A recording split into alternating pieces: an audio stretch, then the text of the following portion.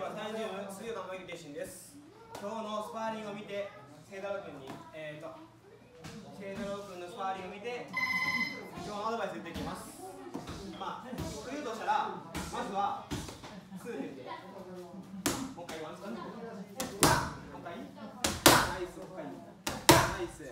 まあ、ミッドではワンツー強いんですけど、スパーリングやったら、ワンツーがあんま入ってなくて、まあ、力がなかったんですよね。その原因っていうのが、えー、と右足が瞬間にこう流れながらくるんですよ。こんな感じで。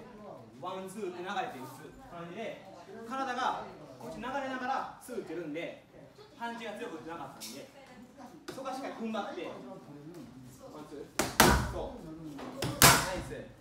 こっち回るのもいいんですけどパンチ打つ瞬間っていうのはやっぱりしっかり踏ん張って強く打つっていうのが基本なんでまあそんなうまくショートすんでいいんでしっかり最初は強く強く。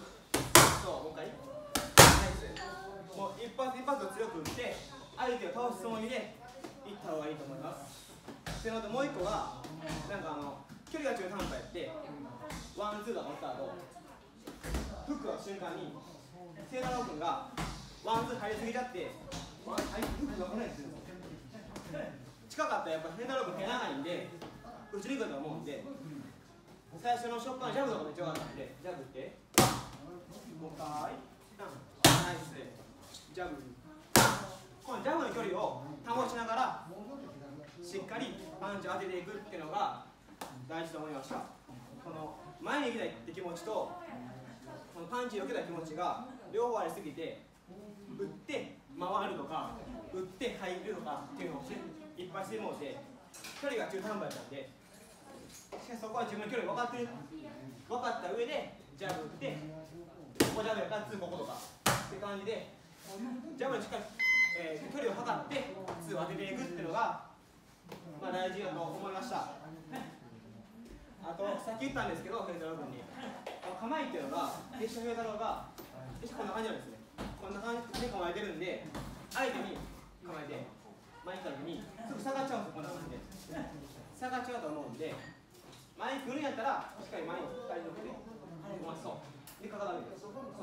こう考えてもらったら多少来られてもしか踏まれると思うんで。ここで2が打ってあナイス。もう一回2フックナイスいいな。もう一回ナイス。って感じで重心を前に持っていく。っていうのもまあインファイブしたいんやから大事だと思います。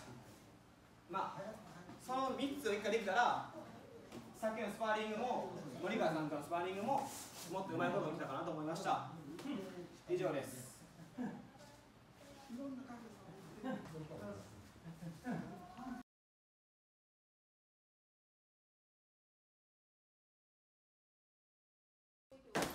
そう全部強く。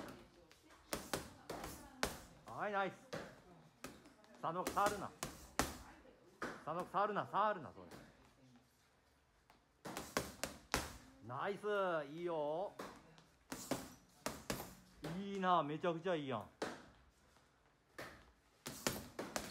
おめっちゃええやん。全部強くやで。口を閉じろ。3発目のジャブが弱い。